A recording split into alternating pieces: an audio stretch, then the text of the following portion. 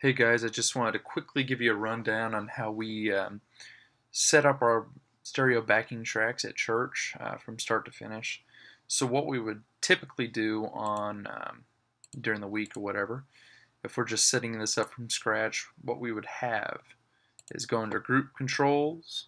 I should have looked at this before I did this, but alright, so go to group controls.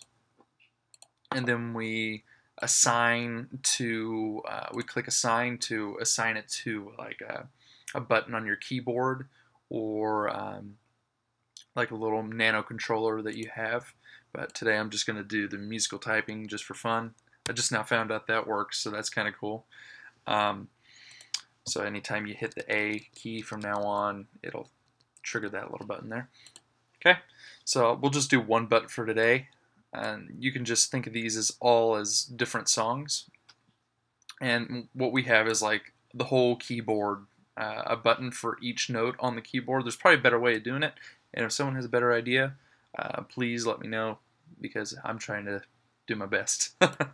So um, so we have like a bunch of racks of these. But we'll go with a one here. So what we'll do is we'll get our track here we're going to drag this into our um, MainStage project and make sure we're on untitled concert or the, the concert uh, level to drag all this stuff in and get rid of this thing. and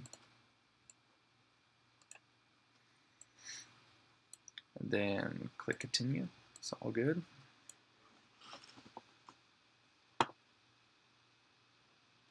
Okay, so that's all our tracks right there.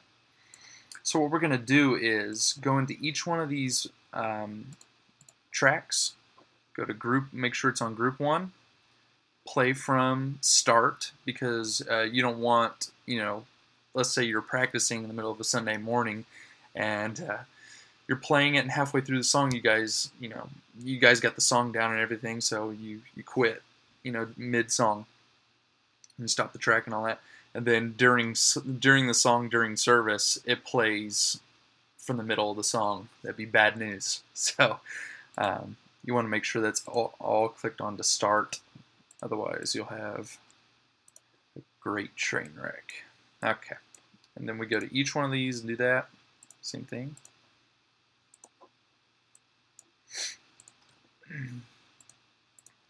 Make sure it's all in group one Okay. And then the next thing that we do is go over to the button that we um, want. Go to one of the four tracks and then click the play button. One, two. Now, every time that we click the A key, or whatever key that you have, it'll trigger that button, which sends a signal over to here to trigger the track. One, two, three, four. And then you can just hit it again to stop it.